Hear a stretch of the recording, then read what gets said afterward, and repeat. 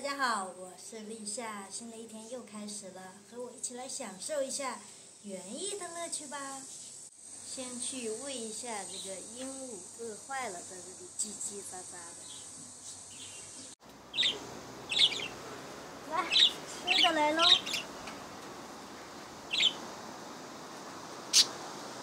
饿坏了是不是？呀，别打架，一起吃。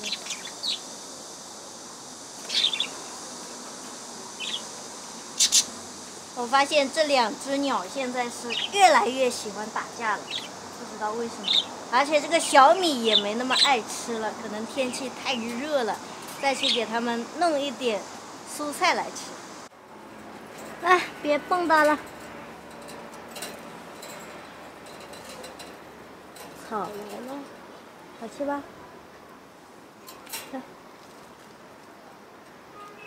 哦，我发现它。他喝的这个水没有了，怪不得不肯吃小米。哎呀，我也是太粗心了。天气这么热，水还供应不足，你说他怎么吃？啊，对不起，对不起，现在就去给你们装水。来，水来了，慢慢吃啊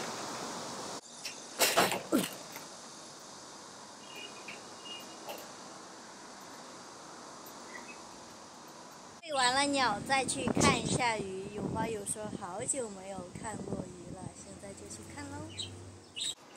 这个小池塘里面的生态还是不错的吧？有很多植物，水也非常的清澈，但是就是看不到鱼，因为这个鱼和泥鳅现在是很活很活的那种，跑起来是飞快，根本就拍不到它。而且它还会藏在这一些比较茂盛的这个植物下面，但是我知道它们活得很好。为什么这样说呢？因为我发现这个池塘的底下有很多它们的这个粪便，还有就是每一次我投完吃的，要不了多久全部会被它们给吃光。